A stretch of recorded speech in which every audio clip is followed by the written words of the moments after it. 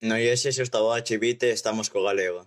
Ola a todos e a todas, son Alex Bamonde e quería compartir con vos as seguintes reflexións, co gaio da nosa participación no proxecto 21 días en galego, cando, despois de facer os nosos dos primeiros musicais, Los Miserables 2013 e Moulin Rouge 2014, nos propuxemos facer a nosa propia versión do musical Mamma Mía, en galego, e adaptada a nosa xeografía e cultura, Vivimos a estimulante experiencia de ver como cobraban sentido todas aquelas cancións de ABBA que antes tarareábamos sen saber ben o que querían decir.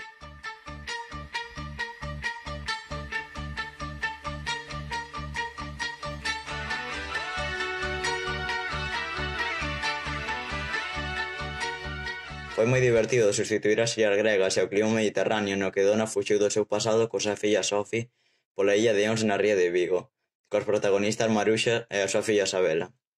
De súpeto, todas as peripecias desta divertida comedia romántica parecían encaixar perfectamente no ámbito galego, e as letras das cancións converteranse de súpeto en proclamas cos que nos podíamos sentir familiarizados.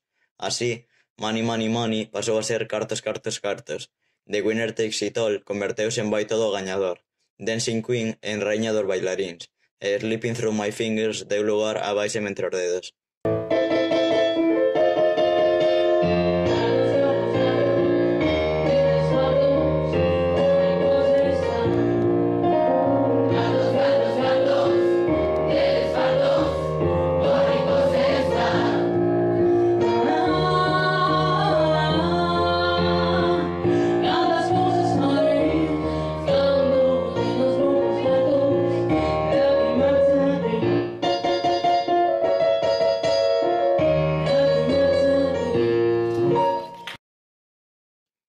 A tradución das cancións foi aínda máis divertida que a adaptación do nome dos personaxes a lugares á cultura galega. Atopámonos coas dificultades de ter que adaptar, mantendo o número de sílabas por verso e tratando de manter a rima, as ideas xerais das cancións orixinais en inglés ou galego. E vencidas as primeiras barreiras, descubrimos que o, que o universo de traducción é fascinante e moi entretido. Así, no 2015 pidemos interpretar a nosa versión deste musical, e cando, come, cando comezou o curso seguinte levámoslo de xira a outros centros, como aí a República Oriental do Uruguai, en Teis, Vigo.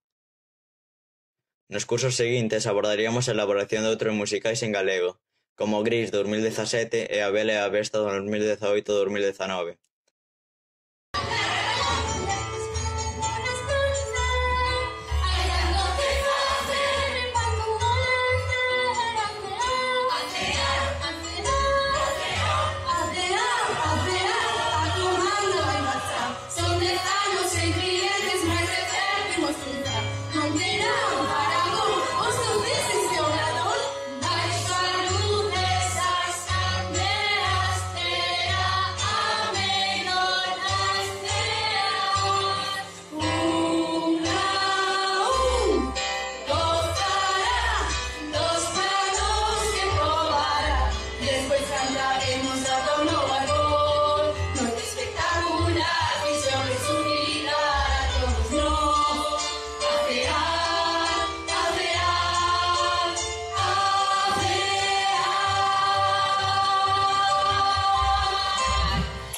Antes de que chegara a Covid estábamos preparando o noso musical La La Land en galego, do que xa temos feitas as traduccións das letras e máis o guión. Cando recuperemos a normalidade retornarémolo.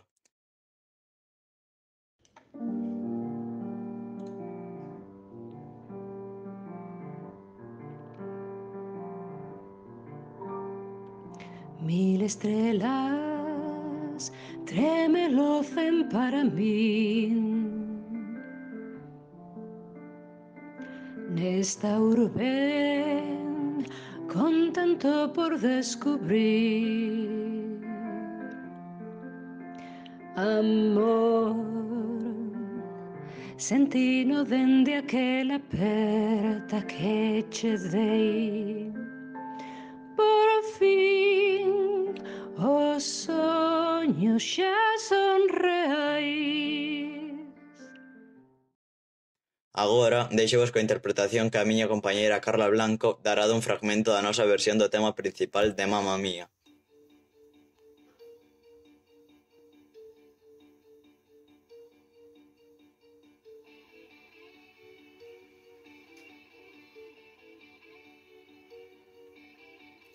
Enganaches tanto que perdín a conta Tiven que convencerme de non dar a volta